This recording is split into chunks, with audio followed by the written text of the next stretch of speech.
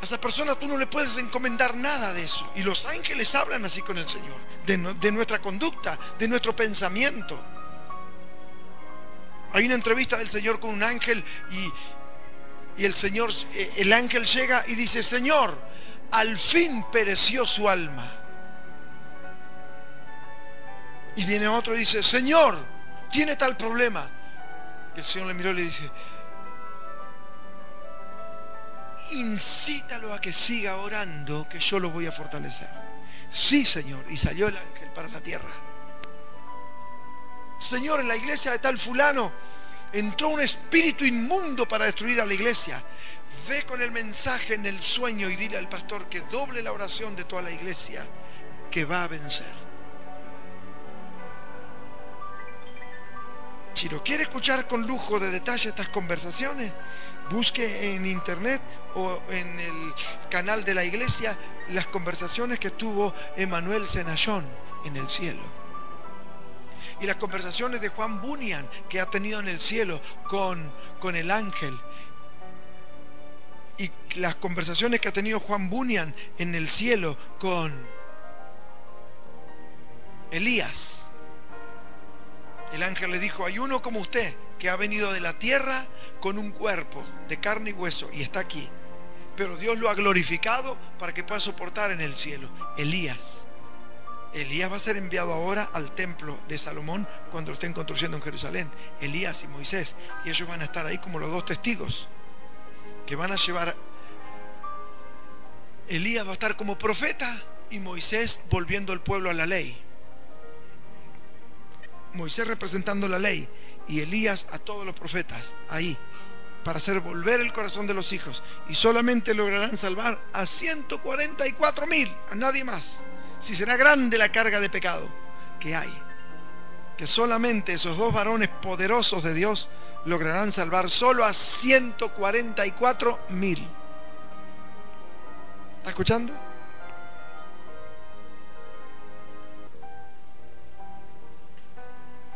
Yo quiero compartir otra palabra que muestra cómo es el ser humano. Aquí en el Salmo 78, verso 38.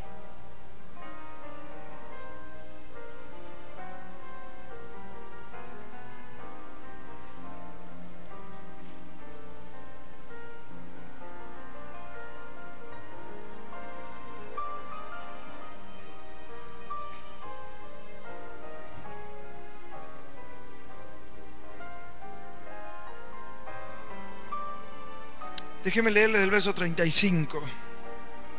Ay Señor, tendría que leerle todo el Salmo, es tan bello esto, tan hermoso. El Salmo 78 dice, fidelidad de Dios hacia su pueblo infiel. Y habla de todo lo mal que se portaba Israel en el desierto. En el, verso, en el verso 35 dice, y se acordaban de Dios, de que Dios era su refugio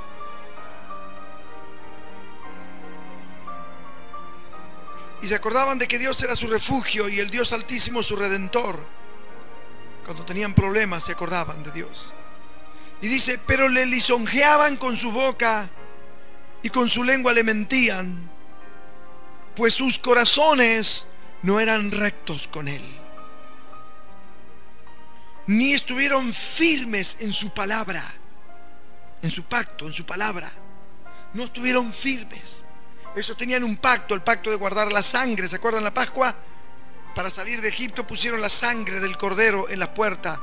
Ese, este es el pacto de Dios con vosotros.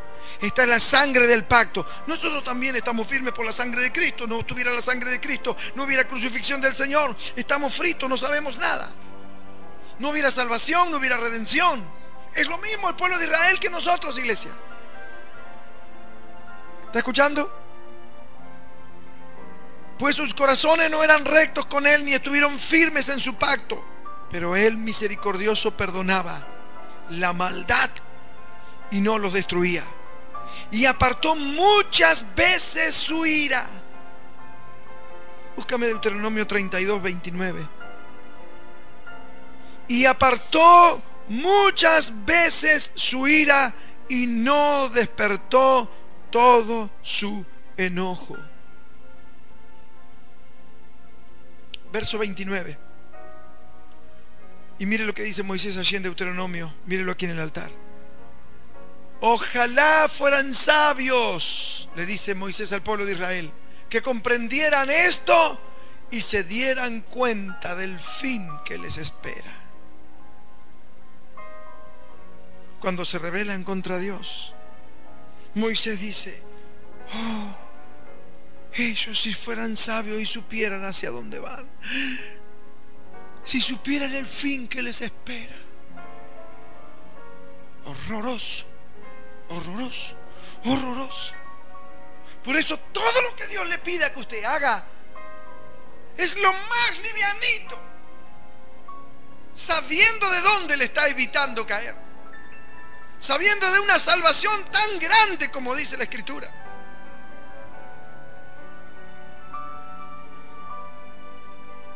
Por eso cuando el pueblo de Israel hizo enojar su Santo Espíritu, no es a cualquiera, es hacia el Dios Todopoderoso que creó los cielos y la tierra y el mar y todo lo que en ellos hay.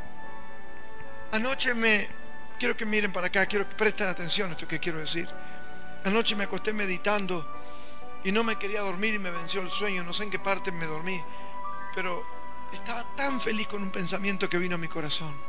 Dije, Señor, ¿cómo agradecerte? ¿Cómo, cómo, existe la forma de, demostrarte agradecimiento por darnos el, el, creer? No todos creen. ¿Y por qué nosotros podemos creer? En la palabra. La gente dice que el, que el mundo es, que nosotros estamos locos porque creemos en un libro escrito por alguien, pero es tu palabra. Y empecé a meditar de esta manera. La palabra, la palabra. Por la palabra fue hecho el universo, por la palabra fue hecho el mundo. Y aquel verbo que estaba con Dios, que estaba en Dios y que era Dios, se hizo carne y fue Jesús. Jesús es la palabra de Dios. Jesús es Dios. Qué hermoso que cuando creemos en tu palabra, creemos en Dios. Qué hermoso cuando tenemos tu palabra, tenemos a Dios. Que cuando hablamos con Jesús en la oración, hablamos con Dios. Y que cuando vayamos a ir al cielo, veremos al verbo hecho carne, que es Dios. Qué lindo poder saber que, que por la palabra que es la palabra de Dios, fue creado el universo. Cristo fue el que creó el universo. Él es el Dios creador. Y ahora tiene otro nombre Jesús que significa Salvador. Ahora Él está tomando otro papel que es el Salvador, el Redentor nuestro. Ahora nos va a llevar al cielo y le conoceremos tal como Él es. Y empecé a atar los cabos y me quedé dormido. Pero ¿sabe la cosa? Feliz aquí adentro de meditar en la escritura y poder decir, Jesús es el Hijo de Dios. Jesús es el Salvador. Jesús es el verbo de Dios. Y en el principio era Dios. Y en el principio era el verbo. Y el verbo era con Dios. Y el verbo era Dios. Jesús es Dios. Pero Él ahora vino a actuar de otra manera. Él se presenta a nosotros como el Salvador. Él le dijo a Moisés, yo soy. Pero también Él dijo a la iglesia, yo soy. Y cuando vayamos hacia arriba le vamos a decir, tú eres, y Él va a decir, yo soy.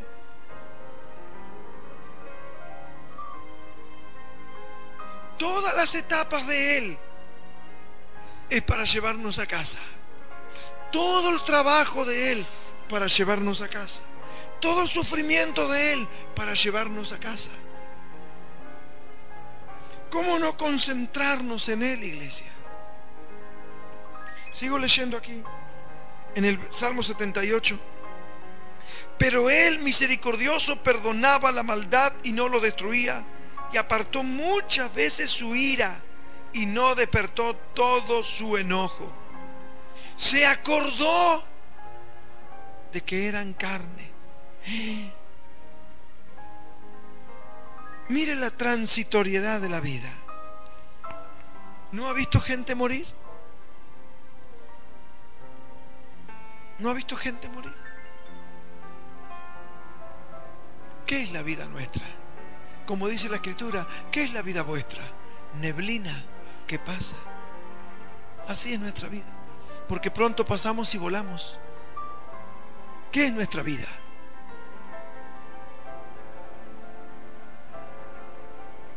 Usted tan solo mira para atrás y era una muchachita, un muchachito. Y ahora ya está lleno de hijos y cansado y, y ya pisando los 50, los 60, otros los 70, otros los 80 y ya, ya. No tiene ganas de aventura ni nada porque su cuerpo ya le pide que no. Su, su, mente de parte de Dios puede estar joven, pero se mira al espejo y su cuerpo no está tan joven. ¿Qué es la vida? Es una neblina, es un soplido. Pasamos por esta vida y hacia dónde vamos, hacia abajo o hacia arriba.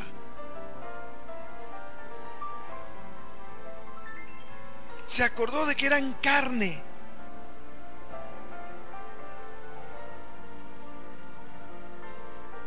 ¿Qué significa de que eran carne? ¿Qué, ¿Qué tiene la carne que Dios quiera? Dios no tiene nada. Solamente los amó y los soportó por amor a sus padres porque Dios se había comprometido con ellos. No había nada más. No había nada más. Y si nosotros nosotros somos amados de Dios porque amamos a Jesús, porque el Señor dijo, el Padre mismo os ama porque vosotros me habéis amado. Si amamos a Jesús y valoramos lo que Él hizo en la cruz, el Padre nos ama. El Padre mismo os ama porque vosotros me habéis amado. Permaneced en mi amor. Dice Juan capítulo 15. Ahora dice, se acordó de que eran carne, soplo que va y no vuelve. ¿Cuántas veces se rebelaron contra él en el desierto? Lo enojaron en el yermo y volvían y tentaban a Dios y provocaban al Santo de Israel. Y el verso 42 dice, no se acordaron. Y en el verso 39 dice, se acordó. Dios se acordó. Y en el verso 42, ellos no se acordaron. Si quiere ponga allí en el verso 39, Dios se acordó de que eran carne. Y en el verso 42, ellos no se acordaron de su mano poderosa. Así que Dios tiene el derecho a acordarse. En esa inmensa soledad, Dios se queda callado la boca y los mata de sed y de frío en la noche. Pero de noche, ¿qué había para ir en el desierto? ¿Qué había de noche? Una enorme nube que les hacía resplandor de fuego. ¿Sabían ustedes que en el desierto, en la noche, hace temperatura bajo cero? Y en el día hacen temperatura arriba de los 35 y 40 grados este, de calor. 30 y 40 grados de calor en el día. Y más también. Pero de noche, mire, baja 40 grados la temperatura y se va bajo cero. 2, 3 grados bajo cero en el desierto. Y él le puso una nube para cubrirlo del sol durante el día, les hacía sombra. Y esa nube de noche tenía un resplandor de fuego que protegía, daba luz y también calor. Si Dios quería, los abandonaba.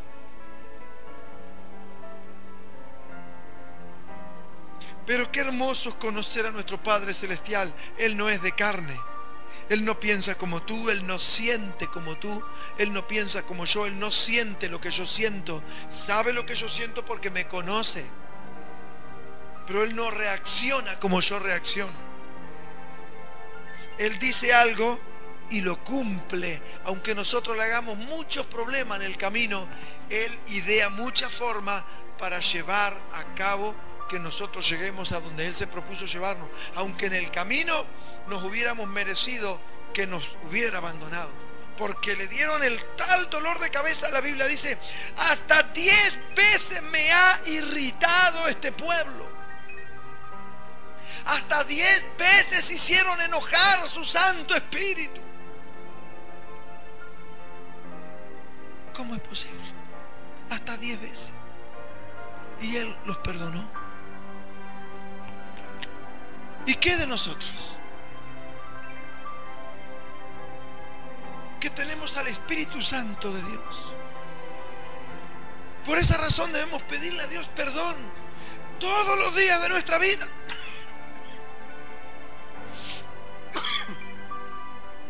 Todos los días de nuestra vida, cada día, Señor, perdona mis ofensas. Señor, perdona mis pecados.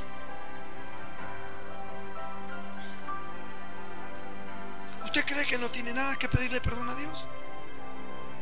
Usted debe de arrepentirse hasta de sus pensamientos. Porque Él tiene un espejo donde ve sus pensamientos. Y muchos de sus pensamientos, Señor dice, mira cómo dejan que el enemigo les atormente la mente. Les he dicho que traigan cautivos los pensamientos a la obediencia a Cristo. Les he dicho que se vistan toda la armadura de Dios. Les he dicho que destruyan todos los argumentos del diablo con que forma una fortaleza arriba de su cabeza. Y el diablo lidia con sus tonterías de la carne. Porque son carnales, el diablo hace tremendas montañas arriba de sus cabezas y los atormenta y le da dolor de cabeza y les pone de todo tipo de cosas que pertenecen a la carne. Pero ustedes persisten en andar en la carne y no en mi palabra. Y no en mi espíritu. Por eso el diablo los derrota. Y algunos de ustedes en vez de ser victoriosos, parece que tienen necesidad de que hay que darle leche espiritual otra vez. Leche espiritual, hay que agarrar la mema que le dan a los nenes y darle una mema de leche caliente a cada uno. Porque todavía están en la carne, soy carnales, ¿no dice Pablo? No soy carnales, diciendo yo pienso así, yo pienso así, yo pienso así, yo pienso así. ¿No soy carnales y andáis en la carne? vanidades de nuestra mente, de nuestra carne, de la cual seguimos como las gallinas comiendo migaja, mirando aquí abajo, en vez de mirar las cosas celestiales. No podemos despegar. Muchos de ustedes no pueden despegar porque están con la mente aquí abajo, aquí abajo, aquí abajo, aquí abajo, aquí abajo. ¿Qué dirá? ¿Qué no dirá? ¿Qué dirá? ¿Qué no dirá? La carne. Afanados por la carne. Pensamientos de la carne. Lo que ve está conectado con el pensamiento. Pues la palabra dice, si tu ojo te es ocasión de caer, sácatelo. ¿A qué no te animas? Dile que está a tu lado, no te animas porque eres cobarde. Pero arráncate los ojos a ver. Si tengo ojos adúlteros, Señor, a ver. O si te atormentan los celos. Te atormentan los celos. Y si te atormentan los celos, pues arráncate los ojos, entonces no ves. Ojo que no ve, corazón que no siente. Pero eres cobarde, no te saca ni siquiera un rajuño. Pues entonces traiga cautivo su pensamiento a la obediencia a Cristo y deje de jugar con la carne. Porque el tiempo que usted pierde en la carne lo debería de ganar en tiempo de, de comunión poderosa con Dios de modo de leer la escritura al punto de que le quebrante a llorar y tenga tiempo con la escritura, a solas con Dios, para que sienta que Él es mucho más que todas las vanidades que dejamos entrar en nuestra cabeza. Pelee esa batalla, dígale al diablo, eres un estúpido, yo creo que yo soy tan estúpido como tú. Porque me has ganado como se gana un niño con un caramelo. Y el diablo le ha metido flores de lío por vanidades que se podían arreglar con un perdón, con un te amo, con un lo siento. Pues no, la soberbia más grande y no hay perdón y no hay palabra y no hay lo siento y no hay nada. Hay miradas de reojo que parecen cuchillas. Si el Señor hiciera un milagro y hiciera que te cortes el ojo, te darías cuenta que te estoy hablando a ti.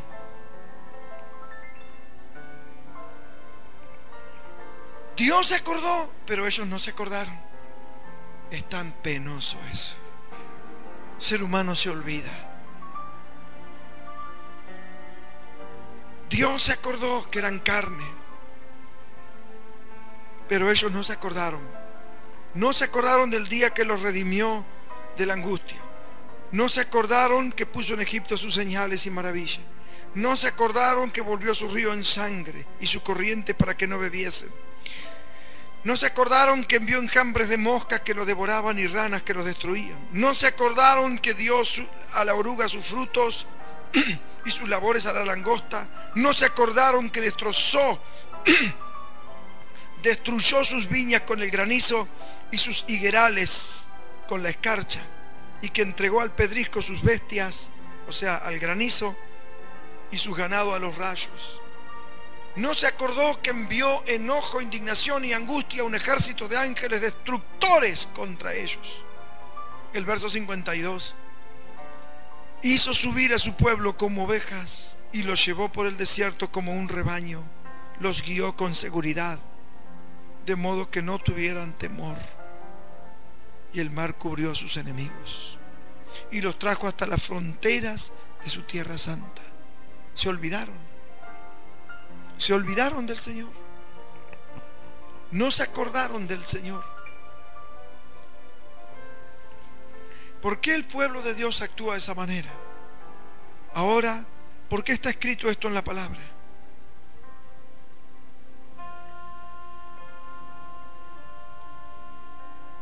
En el verso 81 otra vez. Oh, si mi pueblo me hubiera oído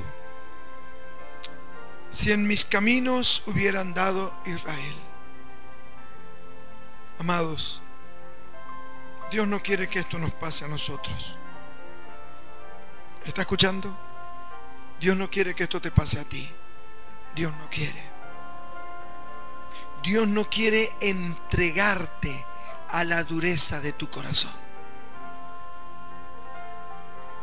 Cuando tu corazón se endurece, Dios dice, así te vas a quedar. ¿Qué es eso que les estoy hablando, iglesia? Eso que les estoy hablando se llama, lo voy a escribir aquí,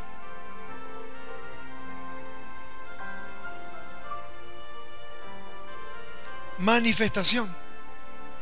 Se manifiesta lo que hay adentro y Dios dice, pues te doy oportunidad para que te arrepientas y cambies eso. Y si no lo cambias, Dios dice, eso va a formar parte de tu persona. Si hay envidia, pues serás una persona envidiosa el resto de tu vida. Si, si hay... Si, la carne te domina, pues serás una persona carnal el resto de tu vida y no podrás entrar, eh, eh, no podrás crecer hasta llegar a ser una persona espiritual. si hay falta de perdón. Y Dios te da tiempo para que te arrepientas y cambies eso. Y no quieres perdonar. Y dices, no, lo que me hizo no le perdono. No se lo perdono ahora ni nunca. Y lo dije. Y lo que yo digo lo sostengo. Pero delante de Dios te animas a ser así. ¿Te animas a ser así delante de Dios? ¿Sabes por qué? Como Dios conoce la soberbia, pone en tu corazón diciendo, ¿y este se cree que es Dios? que porque Él lo dice así es Dios que me habla. Él se cree que es Dios. No, no es Dios, sos vos, pastor, que estás hablando. Y por tanto yo voy a seguir como soy. Y yo he dicho que no perdono y no perdono. Y entonces Dios permite que no entienda que Dios le está hablando. Como habló por Jeremías, como habló por Isaías, como habló por Ezequiel, como habló por David, como habló por Samuel. En aquel momento, vaya, vaya en su mente y en su corazón y vean aquel momento a los profetas. No los querían ni tampoco les creían que era Dios que hablaba por ellos. ¿Se acuerda cuando le dijeron a Jeremías, Jeremías, venimos a consultarte la palabra del Señor? Ya todo el pueblo se había ido a Babilonia prisionero y ahora quedaban unos poquitos. Y estaba toda la ciudad prendida a fuego y habían muy pocas casuchas, de las más chiquitas, de las más humildes, que no las habían tocado porque no valían nada. Y los dejaron para que planten, para que fueran viñadores, cultivadores de la tierra y lleven el fruto a, a Babilonia. Pero si trabajan la tierra gratis para el rey, conserven la vida, coman lo que puedan, pero vivan y trabajen para el rey. Se van a llevar tantos toneles de aceite y tantos toneles de vino y tantas toneles de, de otras cosas para allá cada tanto. Así que trabajen para que hayan frutos. Y los dejaban con esa condición porque eran gente inservible solamente podían trabajar en la tierra. No eran, porque se habían llevado los guerreros, los capitanes, los oidores, los escritores, los costureros, los pintores, los, los, los que sabían trabajar en alfarería, en ganadería. Todo lo mejor del pueblo se lo llevó para Babilonia. Por los que no sabían hacer nada, bueno, cultiven la tierra. Vivan de eso y saquen. Entonces vinieron a Jeremías porque estaban en angustia y a Jeremías, el capitán de la guardia, por orden de Nabucodonosor, le dijo a Jeremías, yo lo conozco, he oído de él. Y si lo tienen prisionero, libéralo. Y vino el capitán de la guardia y liberó a Jeremías. Es increíble, nunca lo vio. Pero dijo, ¿tú eres Jeremías? Sí, yo soy. Ven conmigo. Y le dio una bolsa de plata. Y le dijo, vete a la izquierda o a la derecha. Quédate en la ciudad, vete con nosotros a Babilonia. Pero estás en libertad. Ah, Dios mío, ¿acaso no me dijiste esto? Y quedó vivir ahí. Y vinieron y le consultaron, Jeremías, consulta tú a Dios. Y mira, lo que Dios te diga, te obedeceremos. Bien, vengan dentro de diez días. Y oró y ayunó.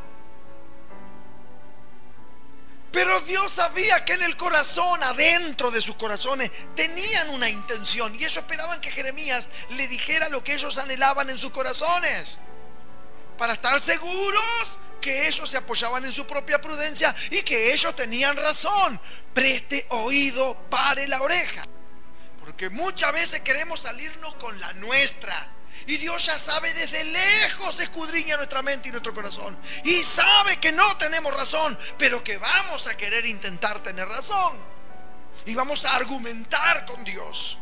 No, pero Dios, no, pero Dios, no, pero ¿qué te parece de esto? Y Dios dice, no. Porque es exactamente lo que ustedes quieren. Lo saqué de Egipto y le dije nunca más vuelvan por Egipto. Y ahora ustedes quieren irse a Egipto y vine a consultarle a mi profeta que yo les dé una palabra. Pero en sus corazones ustedes están esperando que Jeremías le diga vámonos a Egipto. Para que yo los apoye como palabra de Dios a través de Jeremías. Y Jeremías vino y le leyó como que le leyó la mente. Todos ustedes quédense en esta tierra. Y sirvan al rey de Babilonia. Y dice, Dios, yo estaré con ustedes, los protegeré, los guardaré, los prosperaré, los bendeciré abundantemente, porque estoy arrepentido de todo lo que he hecho. La palabra que tú hablas no es de Dios.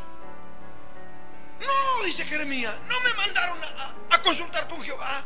He ayunado y he orado y Dios me habló. ¿Cómo van a decir que no es de Dios? No, Jeremías, no, no. Nosotros haremos como nosotros sentimos en nuestro corazón. Nos iremos realmente a Egipto. Y allá en Egipto viviremos y viviremos bien. Es una gran nación. ¿Cómo terminaron ellos en Egipto?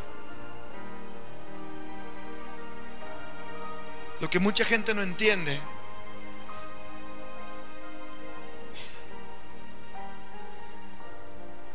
que a veces usted necesita hasta de un sinvergüenza.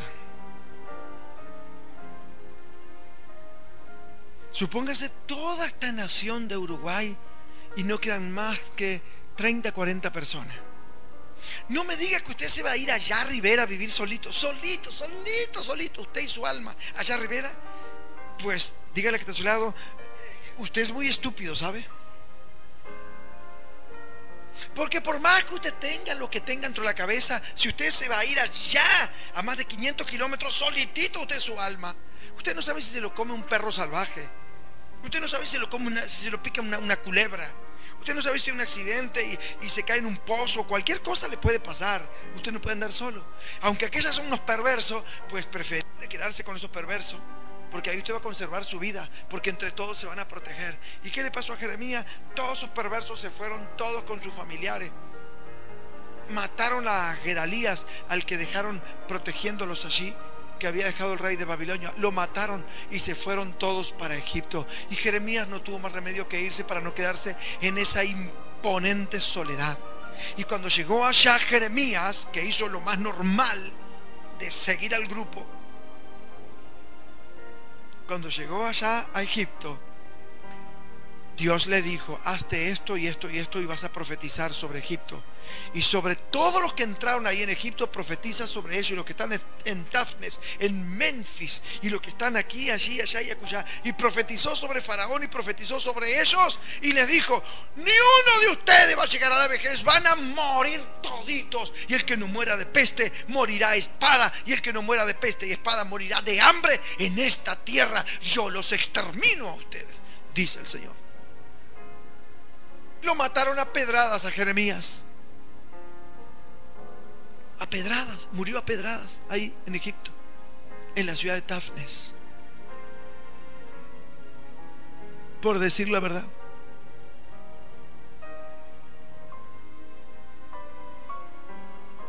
Decirle que te lado, ¿y vos querías ser profeta?